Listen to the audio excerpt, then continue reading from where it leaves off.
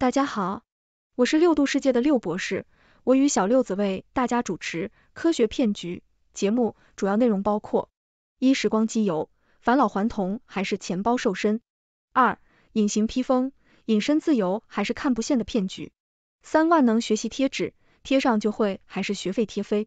那么，小六子可以先跟我们说说时光机油，返老还童还是钱包瘦身？各位亲爱的时间旅行爱好者。今天我们来聊聊一个让人既兴奋又头疼的话题——时光机油。这不是你车库里那瓶用来润滑引擎的机油，而是一种假想中的能让时光机运转的神秘物质。如果时光机油真的存在，那么它究竟会是返老还童的灵丹妙药，还是只会让你的钱包瘦身呢？让我们一起来探索这个问题。首先，我们得承认，时光旅行是一个科学和哲学界争论已久的话题。从爱因斯坦的相对论到量子力学。科学家们一直在寻找时空之谜的答案，但假如时光机真的存在，那么它运作的燃料——时光机油肯定是价值连城的。想象一下，如果你能够购买一瓶时光机油，把它倒入你的时光机中，然后转瞬间回到过去或者未来，这听起来是不是很诱人？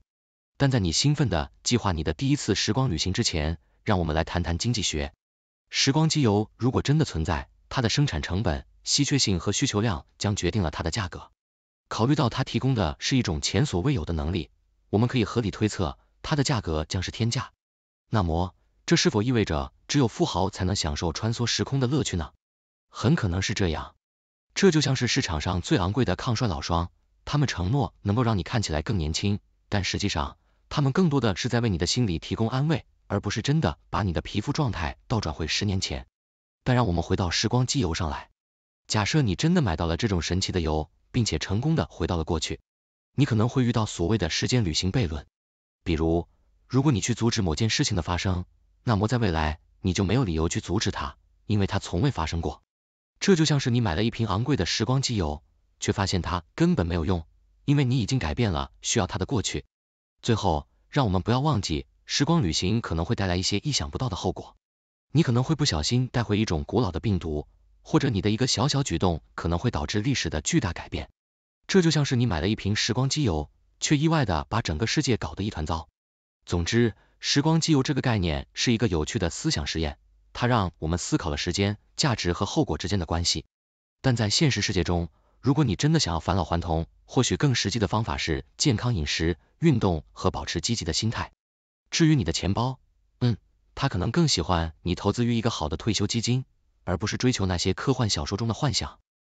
谢谢小六子的介绍，那再跟我们介绍一下隐形披风，隐身自由还是看不见的骗局？各位亲爱的学术探险家，今天我们要来谈谈一个古老而又现代的话题——隐形披风。这个概念在科幻小说和神话故事中屡见不鲜，从哈利波特的隐形斗篷到古希腊神话中的哈迪斯头盔，隐形披风一直是人类幻想的焦点。但是，这究竟是隐身自由的承诺，还是一个看不见的骗局呢？让我们一起来探索这个看不见的奇迹。首先，我们得承认，隐形披风的概念在科学界并非完全是空穴来风。隐形技术，或者更专业的称为隐形术，在物理学中指的是利用各种材料和技术来改变光的传播路径，从而达到让物体看起来消失的效果。这种技术的研究，特别是在电磁波的隐形方面，已经取得了一些进展。但是，这些技术目前还远远达不到让一个人在各种光线条件下完全隐形的水平。现在让我们来点幽默，想象一下，如果隐形披风真的存在，那会有多少人在不小心穿上它之后找不到自己呢？或者更糟糕的是，如果你穿上隐形披风去了派对，却发现自己完全被忽略了呢？这种情况下，隐形不仅不是自由，反而可能成为一种孤独的诅咒。而且想想看，隐形披风在日常生活中可能会引起多少混乱？你可能会不小心撞到其他隐形的人，或者更糟，被人踩到。而且，如果你忘记了自己穿上了隐形披风，那么试图与人交流可能会变得相当尴尬。总之，虽然隐形披风在理论上是可能的，但在实际应用中还有很长的路要走。而且，即使它们真的存在，我们也必须考虑到隐形带来的社会、伦理和个人隐私问题。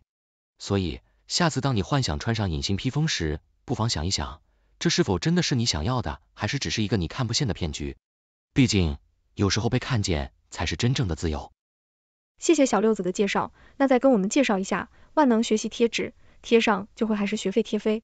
各位亲爱的学习狂热者、知识探索者，以及那些偶尔在午夜梦回时仍对学习感到恐惧的朋友们，今天我们要来谈谈一个非常有趣的话题——万能学习贴纸。这是一种传说中的神奇产品，只要轻轻一贴，就能让你学会任何知识技能。但是，这真的可能吗？还是只是另一种让你的学费无声无息飞走的魔法？首先，让我们来点科学的触碰。在我们的大脑中，学习是一个涉及神经元和突触的复杂过程。当我们学习新事物时，我们的神经元会建立新的连接，这个过程称为神经可塑性。现在，假设这个万能学习贴纸真的存在，它必须能够以某种方式刺激我们的大脑，促进这种连接的形成。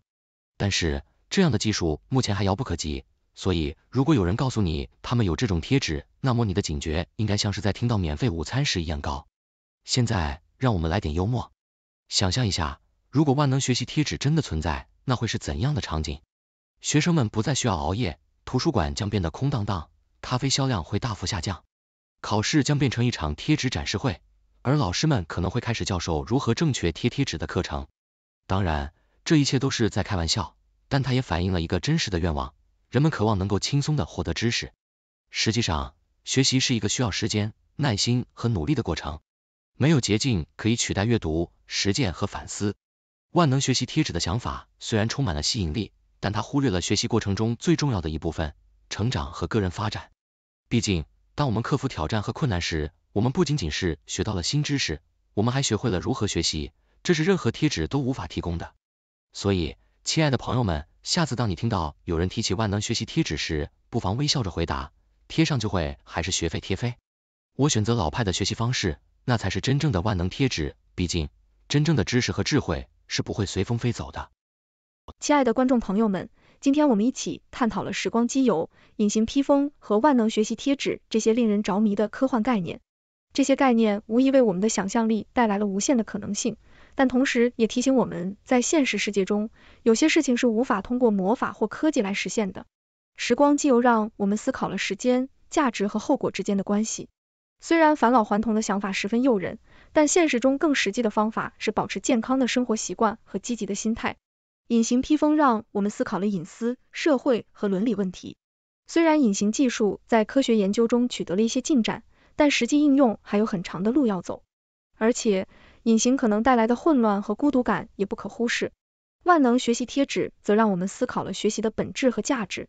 虽然贴纸一下子就学会所有知识的想法很吸引人，但真正的学习是一个需要时间、耐心和努力的过程。通过面对挑战和困难，我们才能真正成长和发展。